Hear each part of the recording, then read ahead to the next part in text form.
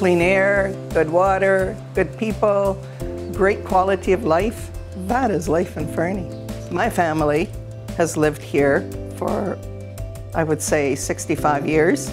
Coal was part of our life. I have heard and responded to people saying that perhaps our coal mines should be shut down. I have several things to say to those people. I moved to a house after I was married, two blocks from the railroad. So I've raised five children. We're all healthy.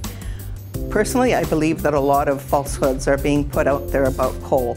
For me, for my four generations of my family and all the people that I know here in Fernie that have lived here for more than four generations, I can't tell you of anybody that has said to me, I am sick because of I've worked at the coal mine. I have a husband who worked at the coal mine. I have a son who works at the mine. Coal has been really important to my family personally. It isn't just a statistic. So for me, I view coal as being a safe product. I believe coal has given everybody in, in this area, Fernie, Sparwood, Elkford, the whole entire Elk Valley, a, the best quality of life that we could hope for. So I personally view coal as being a good product, good for the economy as a whole, good for the Elk Valley, and certainly good for my own family.